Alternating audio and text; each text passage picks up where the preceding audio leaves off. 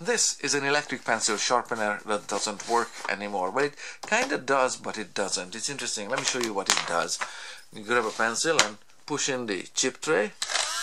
Put the pencil in. It's running and it's whirring, but interestingly, the pencil is doesn't need to be held. It's not being rotated, and more importantly, it's not being sharpened. So there's nothing in the shavings tray or chip tray here. So it still works but it just doesn't sharpen the pencil. So in this video I'll explain what exactly is going on inside this pencil sharpener. I'll take it apart and we'll show you what component actually failed in it. It's a critical small component that's made out of the wrong material. It's a pinion gear or drive gear fitted to the end of the motor that's whirring in it and the manufacturer made the conscious decision that it be made out of plastic. It broke in half. So, the part is unavailable. You cannot order it. It's not list, not even listed as an available part number. It's not even a part number. There never was an intention that this be available as a part, available for uh, replacement part or purchase. So it's a throwaway item. It was made to fail. It was consciously decided that it be made in this manner. So let's take it apart quickly. I have removed some of the screws from the bottom. Oh sorry. Let's start at the beginning. This is a Staples branded electric pencil sharpener that has a model number on the nameplate here its model number is 34462 and it's been proudly made in China. Well, where it's made, it's, know, it's not a problem. The problem is that plastics dimensionally are unstable and change over time. Usually they shrink and as they shrink they split or deform or warp or twist. So that's exactly what's happening here. So you take out the four screws on the bottom and two of these small rubber feet and the housing comes away but the housing that's two important wires there one blue one red. And what you see inside here actually I, safety's sake, because now everything is live, I'm going to disconnect it. So let me explain here what you see here, very briefly. Power is coming in through the cord here and goes to this transformer unit. This is an AC-DC transformer, very plain everyday item. This is multi-win and the other line that you can see there is 1000 milliamps that's what it says on it there. Rest of it you can reasonably read. So that's a transformer that works flawlessly. An important feature here at this point that I want to point at is this switch. There is a micro switch here that gets activated by this projection here on the chip tray. If you listen to it the micro switch here makes a clicking sound and that's one of the switches and another switch will be in this upper part here activated by the pencil. So both switches the one activated by the pencil and the one activated by the tray need to close need to be closed for the electric path to complete the circuit. And without either of these switches either this micro switch here or the other one I'm going to dig out it wouldn't work. So but the switches are flawless because the motor is powered. So I'm going to take out these four screws here. One two three and four. So I'm taking out the last two screws here. Just the quickie way like so. With this screw gun. And in this position here the whole motor and everything assembly just slides out of the housing just like so.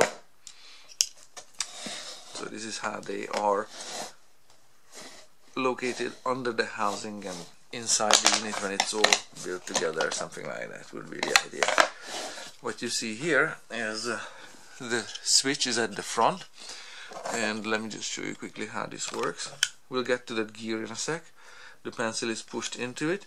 You can see a copper plate here above the gate here the pencil gate. So this copper plate here is just a spring plate to close this gate here. And the other one has a double function. It's both closing this pencil gate as well as you can see wires soldered to it. And in this position it is open. You can see a huge gap right around there. So when a pencil is pushed in here the opening of this plastic gate closes this switch therefore provides a path for electricity to flow and the motor here being powered.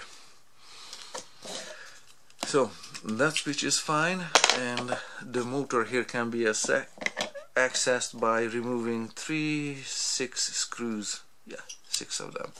So I'm gonna get them very quickly out just like so and here underneath here is the transmission or this is the gearbox here. So this is the motor and the gearbox is here where the plastic gears are.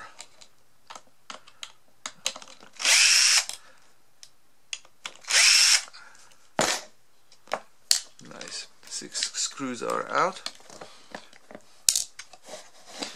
and let's see here the moment of truth. This is how the gears look like. And this is the one gear that's split in half. I'm going to take it off the motor shaft in just a sec but I want to show you how the rest of them work and that they are fully functional. When when the gear box house halves are together you can see that this small pinion and you can see a dark graphite line on it that's where it failed and split. You can see this is how they go together and in this position this gear is about here at the hmm, 11 o'clock position on this gear here. Okay I hope that 11 o'clock position makes sense.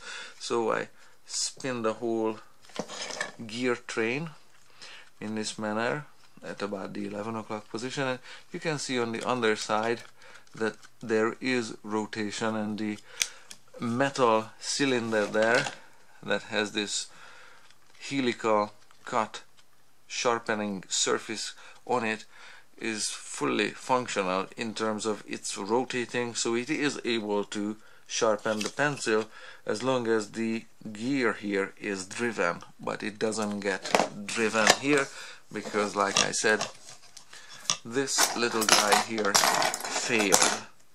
I'm going to take it off the motor shaft and we'll get to see where that crack is on it. It is tiny so bear with me. I'm gonna try to hold it with this tweezer here. Tweezers and you can see that it it's it's greasy but you can see a dark line on it running there between the gear teeth. And if I spin it around a little bit you can see that dark that the dark graphite line continues to the inside of this small gear which means this whole thing is cracked.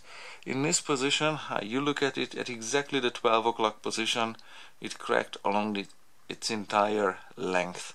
Otherwise the gear teeth are fine, meaning they are intact enough, but the whole thing split along its length and when the motor spins, this one is not spinning on it and is not transmitting drive to the rest of the gear train.